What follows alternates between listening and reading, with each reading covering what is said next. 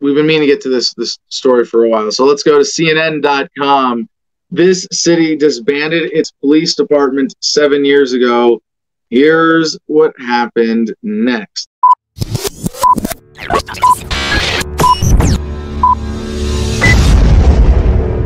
Last week, Minneapolis officials confirmed they were considering a fairly rare course of action, disbanding the city police department. It's not the first locale to break up a department, but no cities as populous have ever attempted it. Minneapolis City Council members haven't specified what or who will replace it if the department disbands. Camden, New Jersey, may be the closest thing to a case study they can get. The city, home to a population about 17% of Minneapolis size, dissolved its police department in 2012 and replaced it with an entirely new one after corruption rendered the existing agency unfixable. And you how did how did they do this and not have more people notice? Well, it, you go well lower your expectations a little bit here. First of all, like I've said, it, it, and I think this would be a good transition if you got rid of pretty much every city police department and rolled it into the county just to simplify it so that law enforcement is a coverage thing, not a you know a, a geographic inclusive thing or an overlapping layers thing. And you really have uh, a more accountable layer of law enforcement at the county level, with sheriffs being elected and constitutionally the you know highest law enforcement in the land. Before its police reforms, Camden was routinely named one of the most violent cities in the U.S. Now, seven years after the old department was booted, were around 100 officers were rehired. The city's crime has dropped by close to half. Officers host outdoor parties for residents and knock on doors to introduce themselves. It's a radically different Camden than it was even a decade ago. Here's how they did it. Why departments dissolve police? A city's decision to dissolve its police department is often a matter of money and the cities that chose to do so are often quite small. Camden comes closest to Minneapolis in size and history. Earlier this year, the village of Deposit, New York, dissolved because it cost two hundred thousand a year. Now, a single sheriff's deputy is assigned to the village. Hey, how about that? Just a redundant layer of law enforcement gone. Hey, sheriff deputy, take their they, they respond to calls, take their place. No big deal. And like that's what we have out here.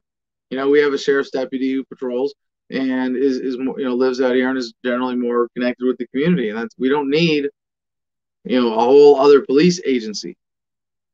How many how many places could you analyze from that perspective and go, hmm, a redundant layer of government where people are being taxed to pay for jobs that shouldn't exist, dig ditches, fill them back up, or harass citizens for more profit for bureaucrats and people in on it. Mm, yeah, it sounds like a crime. Sounds like we don't need that. Sounds like that government agency and redundancy in and of itself is a racket that we'd be better off without. Garden City, Missouri laid off all of its officers and suspended its police chief because, as its mayor said in 2018, the city couldn't afford to keep them employed. In a bizarre move, Rio Vista police leadership abruptly left the department, and half of the remaining officers left for other jobs, so the California City's department could no longer go on. Camden did it to root out corruption. The crime rate was among the worst in the country, with nine square miles and among nearly 75,000 residents, there were over 170 open air drug markets reported in 2013, county officials told CNN. Violent crime abounded. Police corruption was at the core yeah, government makes it worse. You give them, you give them again. You if you use don't don't use the government. If you see a problem, use something other than government. Government always makes it worse. There are always unintended consequences, and this is just. I mean, I always all right. Someone's going to find some exception, but you know, this is just a perfect example of this. Even just backfiring. Lawsuits filed against the department uncovered that officers routinely planted evidence on suspects, fabricated reports, committed perjury, after corruption was exposed, courts overturned the convictions of 88 people. So in 2012, officials voted to completely disband beyond reform. And the Camden County Police Department officially began its tenure. No other city of Camden size has done anything quite like it. So they didn't get rid of policing even. They just got rid of an agency and replaced it with another one. Like it's again, keep your expectations low here, people. The, the, government, like even in Minneapolis, if they just said, "All right, we're done. This thing is beyond reproach," you know, or beyond repair, we're gonna we're gonna get rid of this thing, and we are going to rely on county law enforcement. There's going to be a lot more money going to county law enforcement to do a lot of the same things that the Minneapolis Police Department was doing. Now they'll do a lot less. Again, I, I'm not saying this is bad. This is very exciting. Big positive reforms. A great, very important direction of getting law enforcement down to the community level, uncorrupted by central authorities, either in budget or in policy. And just by that, you're going to get way more in line with the natural law. This is incremental do not expect a revolution in policing. And this is again why I say, you know, in terms of flattening the curve or like getting getting everything that we need and the attention, you know, of, of reform. It's going to be a long time. How the new Camden police changed its approach. City officials had two objectives in remaking Camden's police reducing crippling violent crime and making residents feel safer. Louis Cappelli, Camden County Freeholder Director, another term for a county level public official, said the department still has a ways to go, but its efforts over the last seven years have been largely successful. Back then, residents of Camden City absolutely feared the police department and members of the department. He told CNN they, the residents, wanted that to change. Violent, but yeah, people are afraid of police. Can we can we finally talk about that? Yeah, yes.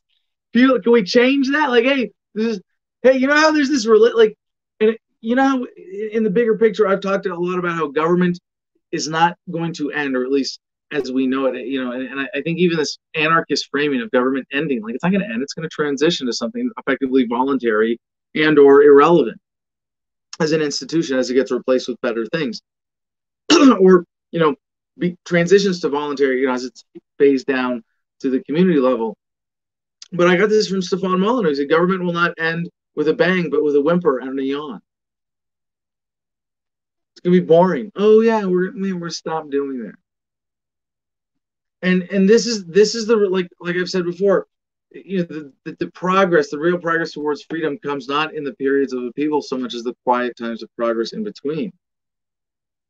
And and there's going to be a, a, you know following this period of upheaval if we're ever allowed out of it right? If they don't just keep pumping us with fear porn. If, if we come out of this and we go okay you know these this is the conversation that we need to have. This is it's going to be like this hey you know how we're kind of afraid of cops? We don't like that. Let's change let's let's talk to the cops and let's fix this. This is a very like normy thing.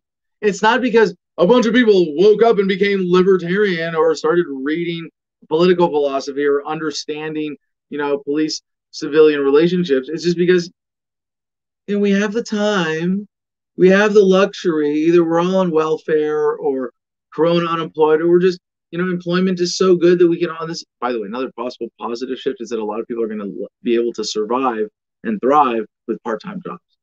That's going to be a major positive transition for people being able to pursue better lives, to look out for their mental health, for social health, to, to address these bigger issues, to be more charitable, to start new businesses, to have hobbies, to be artists. Like the fact that people are going to be able to survive with more part time jobs in the future as a result of this huge positive economic shift, silver lining here.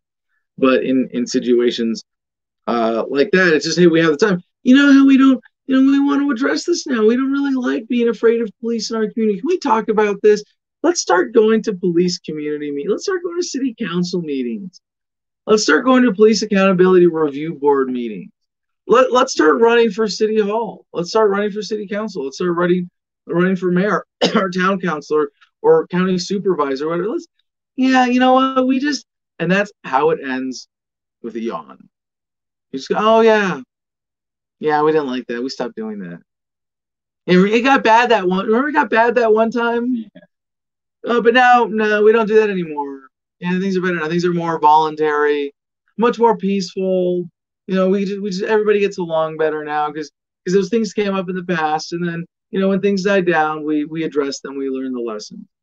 Uh, it's never too soon to start learning the lessons. And, you know, history doesn't repeat, but it rhymes. In the spiral of progress, it also gets faster and faster. And we're learning like in real time by being able to even CNN can't deny that they have to cover the story.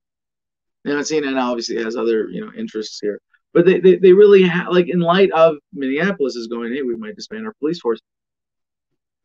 As, as journalists, they have to go, well, when has this been done before? Oh yeah, Camden. We have to cover the story. How to go? Oh, it went pretty well, didn't it? Hmm, all right. Violent crime dropped 42% in seven years. Crime rate dropped from 79 per thousand to 44 per thousand. Cappelli credits the improvement to new community-oriented policing, which prizes, prizes partnership and problem solving over violence and punishment. It starts from an officer's first day. When a new recruit joins the force, they're required to knock on the doors of homes in the neighborhood they're assigned to patrol. They introduce themselves and ask neighbors what needs improving.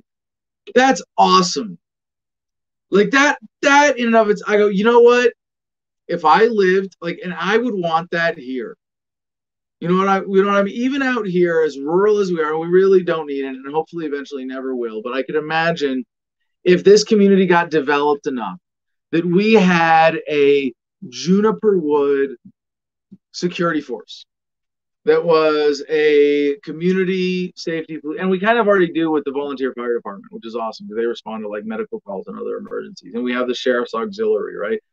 But if, if, if like imagine if we, we could hire the sheriff's auxiliary away from the uh from the county sheriff's department and say look we we we, we all decided to pool our money.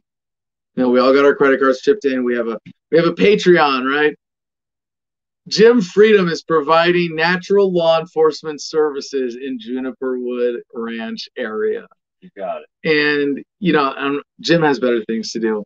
And no offense, but you're not qualified, and I wouldn't. But you'd be a good. You'd be better than any cop, and you would be providing a service, and you would go out, and I would think if I'm chipping in, I would like this guy. I'd like his number. I'd like to be able to text this person if I'm chipping in 10 and, and I could see if I was in a, you know, in the position I could chip in, you know, 50, 100 bucks a month and say, you know, that goes towards, you know, Jim Freedom, Officer Jim Freedom, Peace Officer Jim Freedom salary, Peace Officer Jim Freedom of Natural Law Enforcement Services Incorporated, right? You know, out here, um, I would want you to come knock on my door at some point. Like if, out here, there's no door to knock on, you know, but I'd want you to leave a note on the fence and I want you to have an open house and I want to be able to meet you face to face and say, "Cool, man." So if you see me losing my shit because someone poisoned me, you know you're not going to shoot me because now you know I'm a rational human being. I'm a good guy. This is who I am. Yeah. You know, even just having that effect in the paradigm of modern policing, changing things is huge. Training emphasizes de-escalation. Now, the ultimate accountability for de-escalation would be market forces, preservation of value, accountability for damages and liability, right? But de-escalation still is something that should be you know naturally incentivized. And the department's use of force policy makes clear that deadly force is the last option.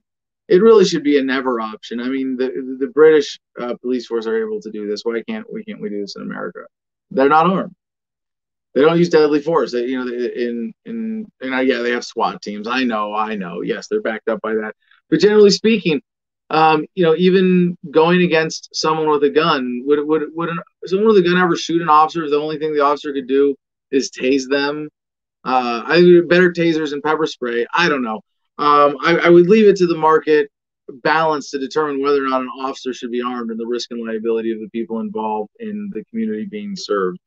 But uh, yeah, in terms of government today, I, I think disarm the police. Like really, that more than defund the police or just along with it disarm the police. You know make them if they're going to do anything they have to do it by uh, you know a non-deadly means of force. Uh, now police host pop-up barbecues and pull up in mr Softee trucks to get to know residents. They host drive-in movie nights. Um, recently the movie of choice was the lion king along what used to be known as the city's heroin highway the Community First Initiative has made improving diversity within the force a priority too. Whites are the minority in Camden, so Cappelli said the new department has hired more black and brown officers to serve black and brown residents.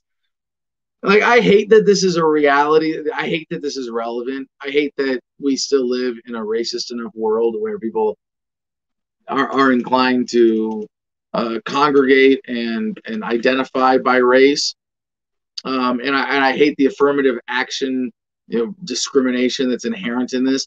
But actually, as a police reform in the current paradigm, I'm kind of okay with it um, because I know if we went straight to a market paradigm for, for social justice and, and for natural law enforcement, uh, the racism problem would, would get way smaller because you'd have huge de-escalation there. And if it happened now, there might be ethnic communities that are more inclined to hire uh, ethnic enforcement officers. And if that's the case, you know, uh, okay, we'll evolve that. Eventually, we'll take on the Bulworth strategy, right? We'll just keep screwing each other till we all come out the same color, and it won't matter at all. But until then, yes, I, I don't really have a problem with this. Um, Cappelli said the new department also hired over 100 officers who were in the old department. They joined a department which now has over 400. So basically, they, they got you know three quarter new and a whole new leadership and organization. And you know this is uh, this is just a really positive indication of police reform that's on the horizon, learning from the lessons of Camden. And, you know, as, as libertarians, it's kind of like, when are we going to win? When are, when are we going to win the? You know, we might never. You know, we might win issue by issue.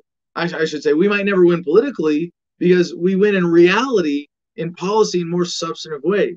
And you know, it's because of work of so many police awareness activists. And I, I go back all the way to Cop Block Pete Eyre and Ademo Freeman really bringing this message uh, to the mainstream, uh, certainly from the libertarian movement to the mainstream. The awareness of police abuse, the need for reform is now such an obvious thing. The history, even though it's been seven years, all right, we've got a great test case. Can we do this? Can we learn the lessons from Camden, New Jersey? Yeah, I think if they can do it, anybody in America can do it. We can have uh, major police reforms that while not perhaps uh, as, as much as some of us would like, can be, you know, even incrementally over the next few years. You know, I, I'm optimistic. I think we can do this. I think we are going to do this. I think we are going to have uh, a period over. It's not going to be overnight. It's not going to be enough to get us out of this mess right away and avoid a lot of the economic consequences we're facing. Like I said, it's not going to be over the next month or two that you're going to see uh, a massive wave of police reforms. The system's is not that flexible. But the demand, the realization, the undeniable lessons from history of cities like Camden and so many others means that over the next few years, we are going to see a wave of incremental police reforms that really have the potential of reducing the viciousness and the injustice of the police state I think somewhere on the scale of 80, 90%. And that's a beautiful thing that we have to look forward.